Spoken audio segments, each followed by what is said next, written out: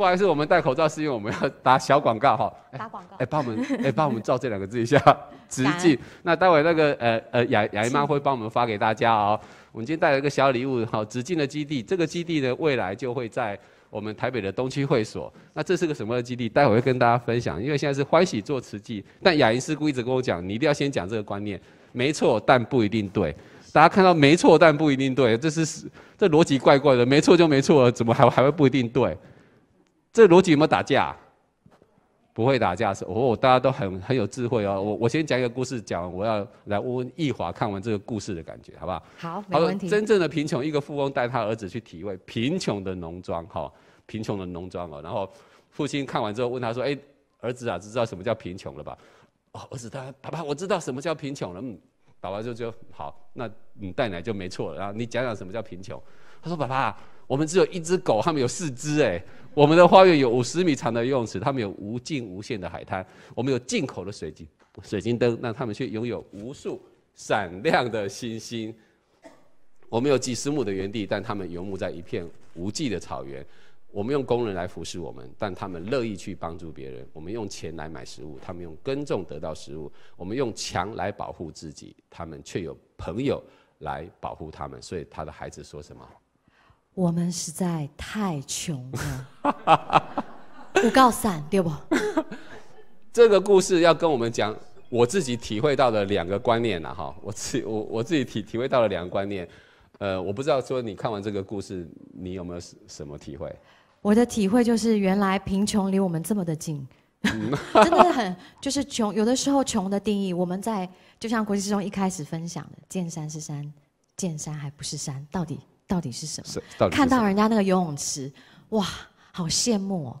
家里就有自己的游泳池，可是却没有想到大自然带给我们的更多。去爬山要不要费用？不用。可是我们就羡慕羡慕人家挂着一幅又一幅的大石级的山水画，或者是我们有很多很多的这种，就感觉到哇，如果我也有那样子的，没错。一个地方那该有多好？人都是这样子。其实很多的时候，我今天一开始讲这个故事，就是一定跟我主题有关啊，没错，但不一定对。孩子要教导爸爸要教导孩子什么观念？你要努力工作，才可以怎么样？像我一样这么有钱，是不是这意思？是。所以他大家去体会嘛，对不对？然后呢，爸爸的想法，你能说他错吗？他不，你不能说他错啊，他就为他觉得他为孩子好嘛，所以在座的爸爸妈妈们、爷爷奶奶们，你们都觉得 你为你的孩子、为你的孙孙子好，你认为没错，但孩子的答案有时候跟你想的不一样，但不一定对。为什么这么多亲子相处的问题？因为你用你的价值需要框别人的想法，那就常出问题，对不对？所以没错，你的没错。是不是别人的对呢？会不会一点哦？好，这是第一个，我我我想到的。第二个就是易华刚刚讲的，绿色的字跟白色的字，你比较喜欢过什么样的生活？每一个人的内心都说：“我当然喜欢绿色啊！”但是我每天花百分之八十在追求白色啊，那人是不是发疯啊？人很奇怪，对不对？对。每个人为什么假日都往大自然跑？又喜欢大自然，但是我们人类又一直破坏大自然，所以这是什么概念？人这种动物是不是很奇怪？有没有想过？所以你真的要教育你的孩子，到底要追他追求绿色的字，感感觉没什么出息，好像要白色的字才有出息。但是你又真正的想要让孩子真的过得像他自己要的东西，这样大家理解吗？所以没错，但不一定对。这是我第一个要给大家的观念，好好想想。第二个，Nokia，这你知道吗？好，易华是 Nokia，他在二零一四年的时候呢，呃，现任的这个 CEO 啊，他在记者会上公布说，他同意怎么样？被微软并购了。哎呀，我就是想 同意这个微软把我买走好了。那 Nokia 他现在在在就跟着那个西门子变成了那个呃诺基亚西门子嘛。嗯。那我们都知道这样的一件事情，他为什么会同意呢？他在。记者会那一场，他讲了这一句话，我们注意看。是。他讲了什么？我们并没有做错什么，但不知道为什么怎么样，我们输了。当场就落泪，所有的高级官员在当场落下眼泪。他说他们那么努力，他们也没有做错什么，但是为什么我们今天会被并购了？我们的公司不见了。所以没错，就代表你做对了吗？来，再继续看这个，大家知道柯达对不对？柯达，柯达也是那时候我们的共同的记忆，对不对？对，是只要是抠抠尼卡，你抓得住我。抓得住我。柯达就是另外一个品牌，对不对？柯达也是因为他没有意识到数位技术发展那么快，他没有及时赶上。当他发现的时候，为时已晚，所以呢，他就倒了。但是讽刺的是什么？推倒柯达的是他的什么影像技术，所以最早的发明居然就是柯达，可是他却没有与时俱进的跟上，那他就是沉浸在自己的可能是，我觉得是一个小宇宙、小世界里面去想象着大家很需要我，每一个人想到底片、想到相片，第一个想到的就是柯达。柯达。可是也也因为这样子，他们重创。那现在以前我记得我们去洗照片的时候，还是、还是拿着底片，对啊我们想要去把一张一张的照片冲洗出来。那现在再翻开三十年前的照照片的时候，我们看到了它的这个技，它就算再好的底片、再好的胶质，它洗出来的相片依然会泛黄，依然会失真。可是唯有现在的这种数位影像的技术，可以帮我们一再的保存，一再的向下延续。没错，所以其实柯达是教会我们什么？慈济现在也非常的壮大，但是当初上人带着我们走慈善、创新慈善，我们一直守着我们认为的慈善一直在做，我们一直认为我们四大置业不断在生根，但是我们有没有抬头看别人怎么做慈善，别人怎么生根四大置业？如果我们一直没有去跟外界做连接，待会我们会讲，没有做 connect，我们是不是就像是很多好的点子是上人独创，但是我们如果说一直守着这个点子，没有去看别人不断在进步，就像是明明他知道这个数位是他们发明的，但是呢，大家注意看第二段，甚至担心核心业务胶卷的地位会受影响，一直死抓着他认为最重要的东西，然后自己就错失了自己在上升的机会。所以这是很重要的一个观念。我们不是说好呃好的东西要丢掉，而是说好的东西我们如何要重新包装。年轻人，你跟他讲知足、感恩、善解、包容，一共你起的共下，阿里阿公对。啊啊，如果你跟他讲说，哎呀，你对不对？有一个好的东西，你吃了就很高兴，那时候你是不是觉得很满足？这叫知足。你可能用不同的方式来跟他们沟通，但是你都你都是在沟通知足这件事情。所以未来我们的推出的基地也是在这样的一个概念之下要要产生，我们要找到对的频率、对的方式，跟对的人沟通，这才是我们才能够永续。所以陨落，企业没有做错什么，但实际上怎么样？也没有做对。对，太赞了！没有做错什么，并不代表他就做对了什么，这样大家能够理解吗？所以没错，但不一定对的概念就是在这里面。所以看似怎么样一系崩塌，其实是什么？日积月累，轻忽风向，怠慢科技演进，无视环境变化。所以我们现在的不管是暖化啦什么啊，大家都以为哦，怎么突然，怎么那边突然变得很冷，还是怎么突然这么大的灾难？你眼下突然看到的都不是突然，都是怎么样？日积月累，轻忽人的心，轻忽。所以很多的时候，我们认为没有错，但其实你没有做对，就不代表对。所以没有做错什么就是对了吗？你看，你说，哎，我吃桌上的东西都是可以吃的啊，我能说你错吗？但如果你是这，你是这个孩子。拿着母亲节的母亲卡要给妈妈，就妈妈变一只烤鸡在那边。你说你吃这个食物没有错吗？大家能理解这个概念吗？很多的时候，其实这就让我想到，呃，国习兄刚刚分享的这一段，小时候课本里面老师教我们什么，我们就认为都是对的。于是，在我的成长过程当中，我从来没有过怀疑我以前学的食物金字塔没错，但它不一定是对。所有在课本里面老师所讲的每一句话，我都深深记在我的脑海里。那老师说奶蛋鱼肉豆，到现在我弟弟的小孩侄子回来，都还是跟我说唱歌，幼稚园教的歌还是奶蛋鱼肉豆，叫做均衡营养。哇，唱唱唱的好开心！我告诉黄爷姑姑，你你知道吗？老师说就是要奶蛋鱼肉豆。他转过身来看着我，姑姑你是全素。他现在大班哦，他会告诉我说。全素蛋奶素什么素？我说对，姑姑就是全素。那我能告诉他说老师教错了吗？不行。这就是刚刚国际师兄说的，我们怎么样不同用不同的方便法门，让孩子理解，用不同的语言去对接，去接引我们想要接引进来的人。所以这个概念确实很颠覆我，但是我每天也在做这样的一个思考。没错。真的就是对的吗？我们真的是食物金字塔的，我们是食物链的顶端吗？还是说我们其实也跟所有的众生一样？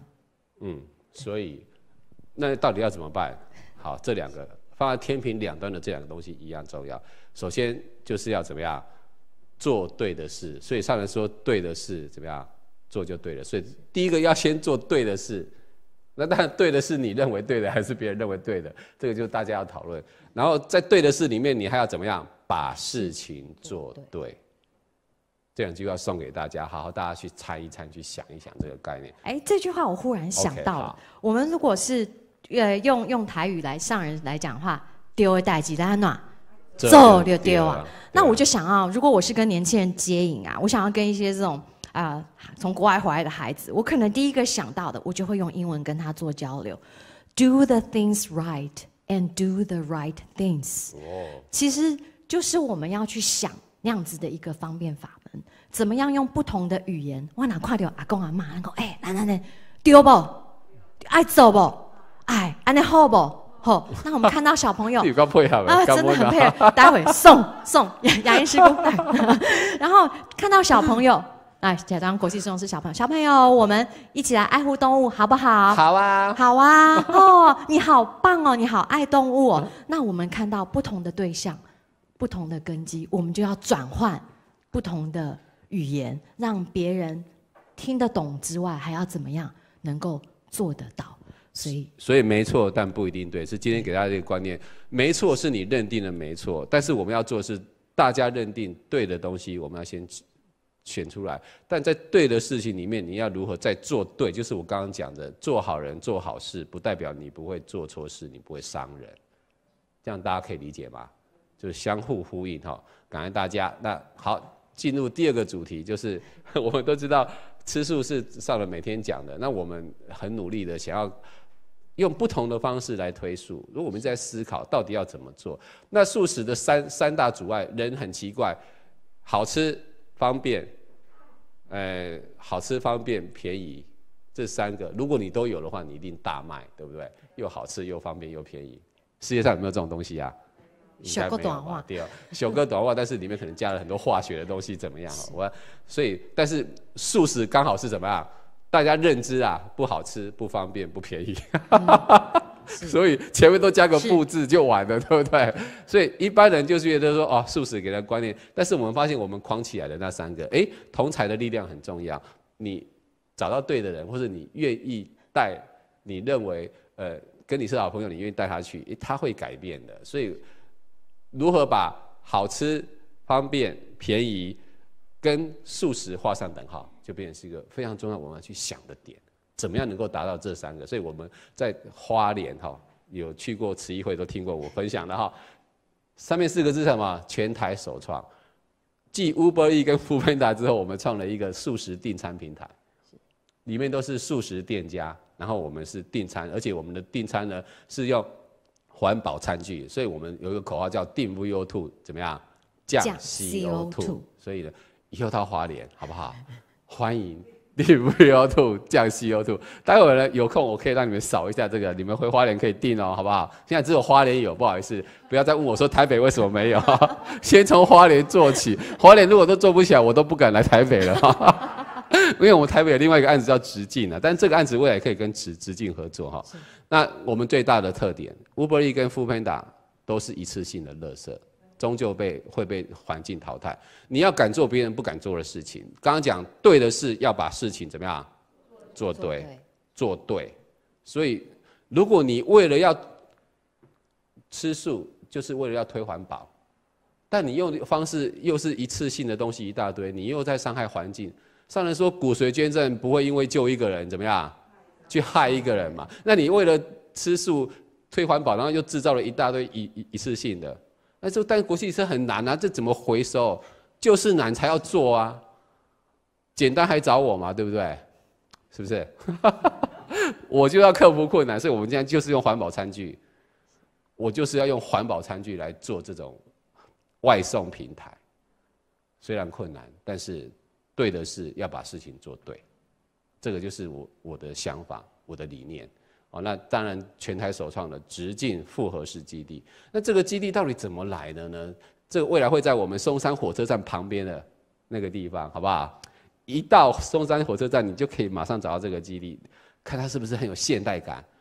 这个这个基地的两大目标，接引年轻人推速，所以呢，希望说。你们都很年轻啊，不要说哦，那我不是年轻人，不用去了。不是不是，要你们带年轻人去，拜托大家好不好？你们是有很大的号召力的哈。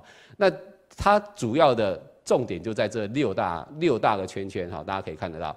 我们一定要接地气，不然你要用什么都是用很理论的。我说你来这里，你看我们吃素的人，你买东西要去一个地方，你学东西要去一个地方，对不对？你听东西要去一个地方，你做东西你要去去一个地方，你看书你需要一个地方。那我跟一华就想，有没有一个地方什么都有的，叫做复合式。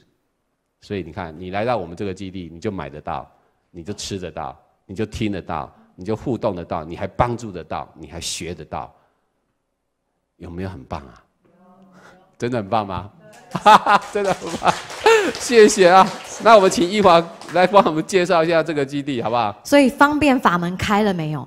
开了，会不会大家觉得，如果我们要跟呃，稍微接下来的新时代来推广这样子如素的护身的一个概念，再告诉少年男工，我跟你讲啊，那这些吃素啊，有些的造福积福，你们觉得 现在的年轻人有没有办法跟我们有产生频率共振？有没有办法？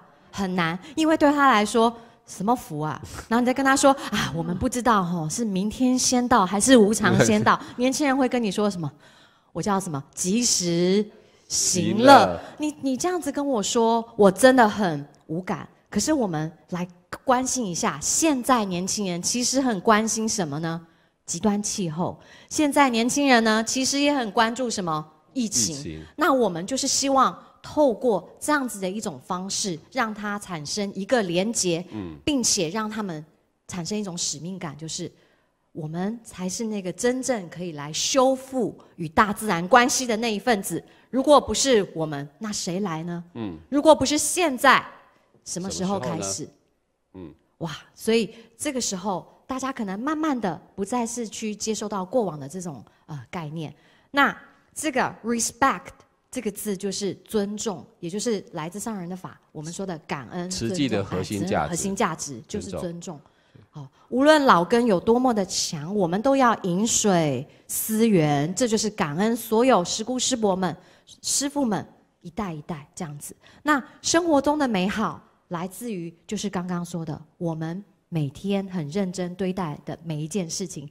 上我最喜欢听上人在做分享的时候，最后讲的三个字：多用心。那要用代力来供改。得用心。我每次听到这三个字的时候，我认为可以给不赔，因为我有在感受。那是不是我们如果转换一个说法，就是跟年轻人说这句话：生活中的美好就来自于认真对待每一件事。早上该刷牙，起床刷牙的时候就认真刷牙，要不要一边刷牙一边划什么手机？啊，很厉害，现在人都可以一心数用。那我们这个直径这个基地呢，推出平台呢，我们有很大的这个七个面向的原则。第一个就是责任。以前讲说。来测试一下大家的年代哈，国家兴亡什么？皮肤有，我不会，我 我立刻考。我假装不会，他假装不会。他什么？你在讲什么？他要装年轻。对，那这种责任，我们就必须要从我们的生活当中来告诉别人，每一个人，每一个人都有这样的一个责任。那我们的基地的责任就是推广好的一种新的一种生活的形态，植物饮食。那我们的同理心，同理心不是同情心，讲啊，这就可怜，这人按那加可怜，不是。同理心是我感受到你的感受。刚刚国际师兄在讲，他在捡动物，然后我就在回想。哦，原来我会跟国际师兄有这样的缘分，能够在这个记忆，原来是我也很喜欢捡动物。哇！那我最近一次捡的动物是在中山北路跟市民大道交叉口，有一只老鼠被可能应该是被摩托车稍微撞，那刚刚吐完那个血。哦。那就在我也捡过这个，在路边。我自己压到的。你自己压到了？哦，好，这真的是。这可能就是姻缘好，然后我就如果有空，我再跟你们分享那种心情的故事，自己在救动物，自己压动物那个心情哦，很不一样，痛到痛不欲生好，很痛。那所以我就把女生在路上捡老鼠会不会很奇怪？一定会，嗯啊，我还是把它勇敢的捡起来，然后好好的把它放到有土堆的地方，稍微把它盖上。所以这个我也能够感受到。那一那一那一面动物触动的，他是我们兄弟。他说：“对我也不知道是哪一生哪一世，但 Colin 一定是我兄弟啦。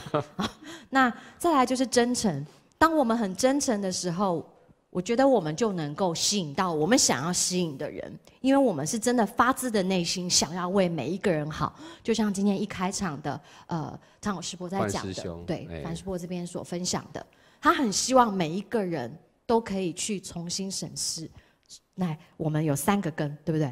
慧根、慧根、够慧根，好，三个自己 Google 一下哈，没有查不到。好，再来，就来就是纯真。那纯真是什么呢？就是我们那一念心，就是像我们在上人跟我们讲的心宽念纯。对，那我们很纯真，所以这个地方没有任何动物的产品。嗯。那再来生态友好。嗯。国师兄，您讲了这么多的环保，讲了这么多的推素。您觉得生态环保的这句话，嗯，呃，为什么触动您？其实我们我一直想说，大自然无无时无刻不在教育我们。你自己有没有打开你的心去关照？那大自然愿意教你，你如果不不愿意去学，那你就每天就是闭着眼睛在走路一样，非常的危险。那所以生态的友好，也就是说，你如果愿意去亲近大自然，你就会感受到它给你的教育的力量。这就是我很深刻，所以我我其实我偷偷跟你们讲，我一直有一个希望哈，写一本我自己对大自然体会的书，就是把我那些故事把它整理好，出一本书，啊，但是时间可以累积，我一直看到那个漏洞，呃，时间不是流逝，时间可以，呃，我今天跟你们发了这个愿呢，看我是不是有生之年能够把我这本书给它做出来。大自然给我的体会跟教育，我一直很想要把我嗯对大自然的这样的一份的心念哈，它教会了我什么？我真的很想把它集集集结出来，希望能够对呃死的活人有帮助。我以后死了，你们知道我出过这本书。OK。那我们因为有像国际师兄这样发这样的愿，然后他想要写这本书，好，逼到发愿，逼到发愿了，是不是？我我给他挖了一个洞啊，然后这个时候。我们真的可以产生很多不同的连接，因为有些人真的就是因为热爱自然走进来，有些人就是很热爱去分享食物的美好，有些人就是很喜欢看到我们自己人那一份那那个脸上的那个笑容，所以我们连接的就是透过很不同不同的这个这个字是最重要的连接 connect。那我们今天来到这一边，也是在做连接，对对，很感恩大家，所以看一看。各位呃师姑师姐旁边的或者师师兄师伯旁边的伙伴看一下，用眼神跟他试一下。连接的另外一个就是呃 communication，就是沟通也。你要连接就要沟通，所以这两个字都是 C 哦，你有没有发现？嗯嗯，好，赶快立刻手比起来 C。好，那接下来很重要就是科技跟透明。哦，科技跟透明怎么做结合？现在其实年轻人都很关心很多的议题，我们怎么样把它善用我们的科技，并且让大家更能够看得到、知道，可以去做到。所以我们希望能够做这样的一个整合。所以这每一个英文字的第一个字母加起来就是 respect，这是我们要传达给年轻人的。这样有没有比较像年轻人的话语 了？谢谢谢，OK。所以我们在这个基地，刚刚国师兄讲的，有开开启了六扇门，对不对？吃得到、买得到、用得到。那我们就是透过这样的一个方法，我们可以在这会在这边办活动。那我们会呃推动环保。上人一直在说，我们用鼓掌鼓掌的双手做环保，已经做很多年了。可是清净终究是在源头，而且我们的环保也需要精致化。怎么样来做精致化？不再是大家把所有不要的东西。送到环保站，而是你要去把它洗干净，甚至是我就是要去减量，这那个才是源头。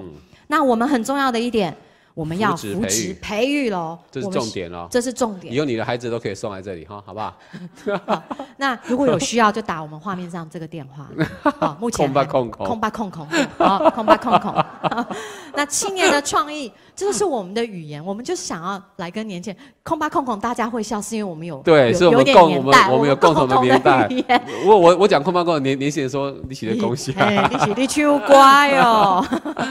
对，所以我们希望这个地方就是能够透过这样的一种连接，让大家不同的行业别、不同的科系、不同的世代来这边做交流。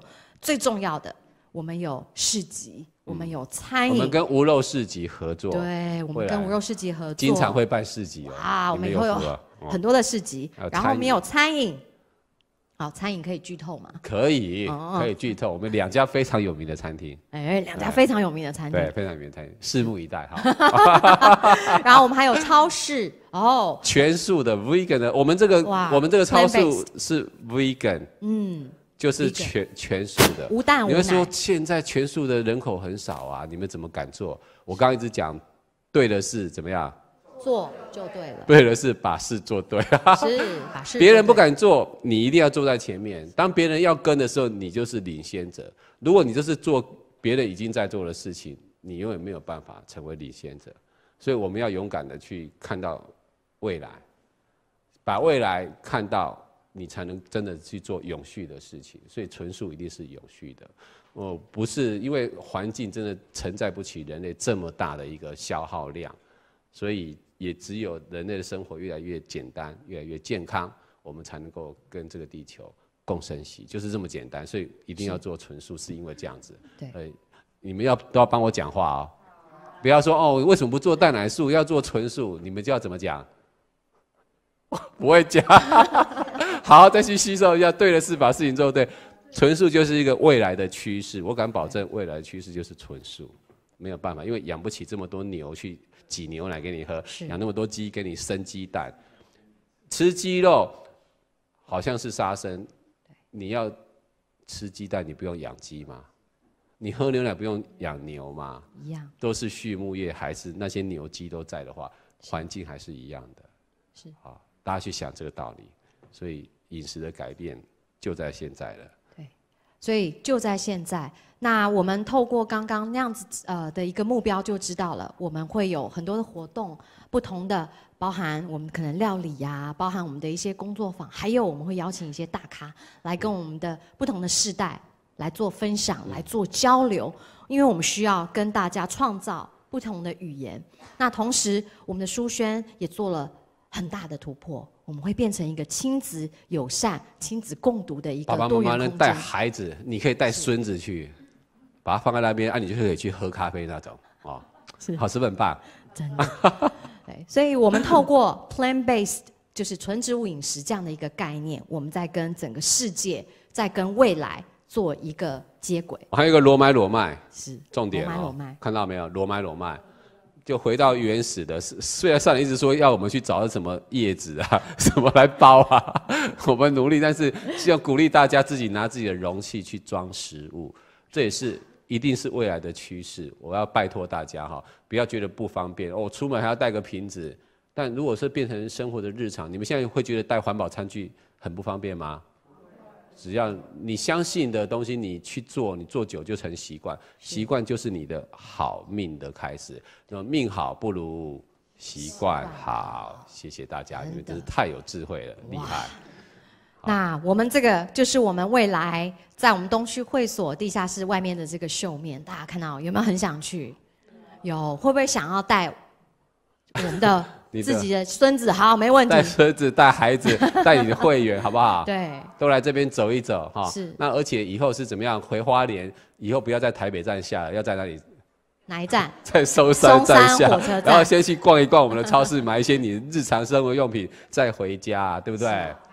偶尔也吃饱先吃再买，然后对再带回家，五家够五俩的哈哎，，一定爱照好凳。然后车子就可以停在我们松山，你看多好。对，讲是不是很美好啊？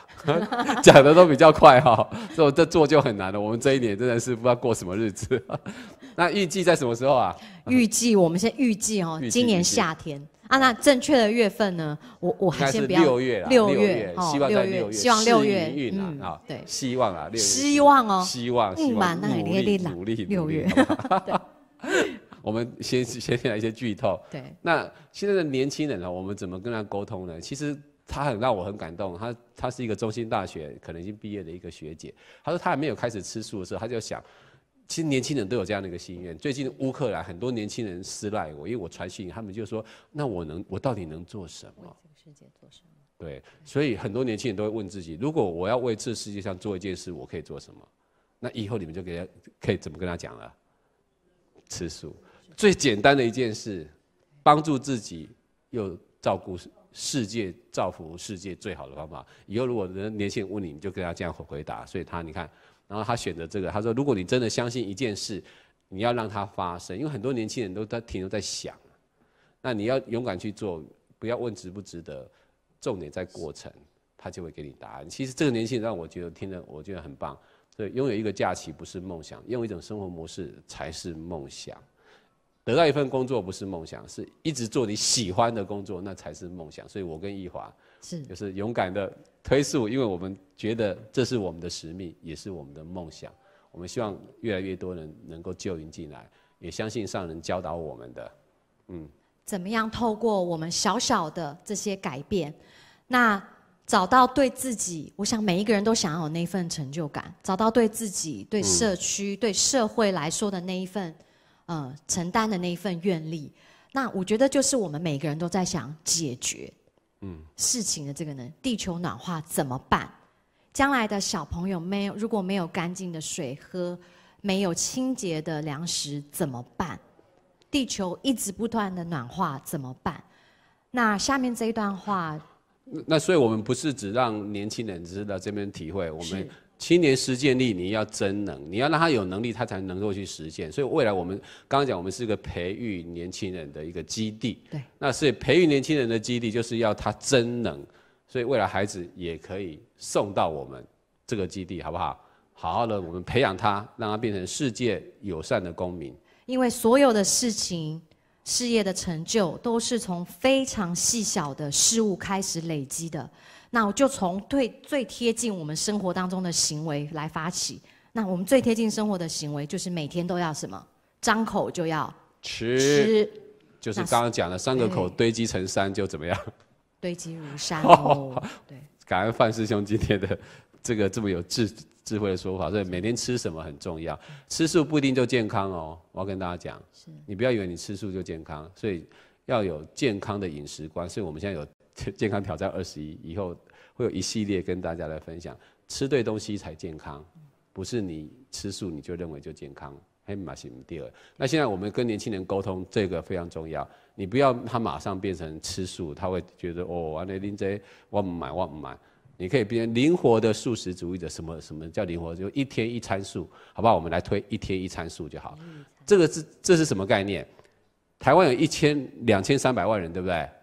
那如果每一个人都能够一天一餐素，那一天有几餐？一天有几餐吃素啦？一餐两千三百万300万餐餐，对不对？那据说台湾现在有三百万的素食人口人口，但是三百万其实包含了弹性素跟特定时间数。好，不管我们就以三百万来算，三百万乘以每天三餐等于几餐？九百万，九百万餐。所以全台湾人每一个人一天吃一餐素，两千三百万餐。是哪一个能够救比较多的生命？两天三百万。所以两一天吃一餐素，对他他或许觉得，哎、我可以。而且你跟他讲，你每天吃肉，全身油腻腻的，对不对？啊，你你中有一餐你选择吃素的话，均衡你的饮食，调整你的肠胃，你愿不愿意？哎，年轻人就听得进去了哦。要不要试试看看？啊，先我们就先推一天一参数。好，啊不要说哦，那那国际现在都不推素，我都推一天一参数，不是？你要让他先喜欢，是你才有机会，你接近他，他愿意来，你才有机会跟他讲话。所以这是先搭桥梁，connect 很重要，好不好？好，所以你看那有没有成果？我跟大家报告有成果。臭氧层经过全人类的努力，氟氟氯化碳我们都不用了，臭氧层已经在修复了。嗯，哎，杨医师也住澳洲，以前我去他们澳洲，他就说你们一定要擦防晒哦，不然那个臭氧一进来，你的皮肤会怎么样？那现在已经越来越臭臭氧已经在修复了，因为人类自知，所以二零一八年二四四三。大家还记不记得？二零一九二五五六，二零二零二五零零，上人终于欣慰的看到，终于不再上升了。每一秒少杀了五十六只的生命，每一年少了十几亿的生命。不知道是不是慈慈济人来带动的，但是上人看到这个数字，自然至少他很欣慰，觉得我们的努力好像有看到一点成果，所以我们不要放弃。对的是。怎么样？你们都说做的要把事情做对，选做好，把事情做对，这是非常重要的啊。OK，所以未来是不是值得期待？未来可不可以预测啊？未来可以预测，那明天开几号？有机可循的可以预测，是这样可以吗？明年的今天，太阳，呃，地球是不是又到这个地方？因为一年三百六十五天，地球转一圈嘛。明年的今天是不是地球又在这个位置？你为什么知道？有有机可循啊，所以只要有机可循，那什么东西是有机可循？未来的事就是现在的累积，你一点一滴的做，不管是你的慧命、你的生命，或是地球的环境，都是我们每个人一点一滴跟灰金钩一样努力，你就能够创造明天。就是有机可循，就是这么简单。所以未来之所以值得期待，是因为什么啊？是因为怎么样？每一位的每一个灰金钩的加入，好不好？那东区会所这个基地，希望以后好的时候，希望大家一起来，对，来鼓励我们，也来看看我们，来关心我们。好，最后这个这个讲完，我们就结就结束。这个很棒，这个观念你们一定要，你们一定要三万五，大家猜猜看，有奖征答。对，听到有奖有警醒啊！哈，三万五，大家猜猜这是个什么数字？这代表什么？代表什么？你觉得三万五是什么？上人常讲八万六千四，那是八万六千四百秒。那三万五呢？上人没讲过。是待会我们要募到这个善款吗？为为乌克兰募三万五吗？有没有？好，时间有限，我们好，时间有限。好，那三万五就是，其实我们每一天科学家做出了一个呃算法，每一天每个人在做出三万五千个选择。你从你要几点起床？你起床之后要吃睁开眼睛开始？你睁开眼睛开始，到你睡觉，到你拿拿起水杯喝那口水，一天有三万五千个选择，所有的选择都在那一秒之间。所以我拿起筷子的那个选择也是在一秒之间。我想要从荤转素那样子的一个愿力，也是在一秒之间。对我自己的例子，就是在二零一一年的。岁末祝福，本来在大陆工作，母亲要我回回家回来参加社区的祝岁末祝福之后，看了上人开示，当天晚上一秒钟决定不要再吃众生的一口肉。厉害厉害厉害！我我没有想到为什么，因为我以前其实是个无肉不欢，到处吃，飞香港飞日本，我就是要吃，开车开到屏东，我也要吃猪脚，我就这么以前是无肉不欢，现现在是无肉更欢。我无肉好欢，而且哇紧欢，开玩笑。所以希望你们每一个人三万五千个选择，每一个选择都是对的选择。对的事情，那你就能够成佛喽！祝福大家，也感恩大家今天一念之间，哎，来跟我们做这样的分享。好，因为时间的关系，后面没有讲到的没关系，以后有机会，不然的话就是等去直进的时候，好好我们再做交流。感恩大家，感恩国旗一划，下台一鞠躬，下台一鞠躬。